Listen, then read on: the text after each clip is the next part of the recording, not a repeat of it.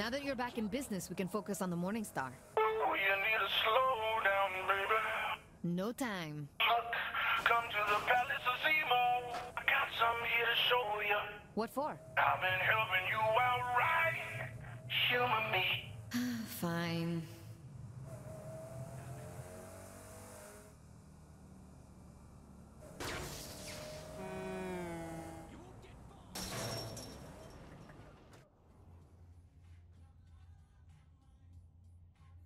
That is one ugly fucking painting.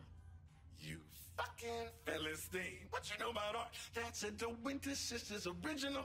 Bought that back in the day when me and the twins were all live and let live. Well, seeing as they just let them know we're taking over their business, I doubt that deal's gonna hold. Shit.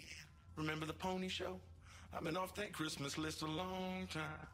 Anyway, I didn't call you over to talk about me. You killed Phillipe Loren and showed the Morning Star that you are here to stay. Time to relax and cut loose, baby. No, we'll party once the work's done. I'll call you when I make another move against the Morning Star.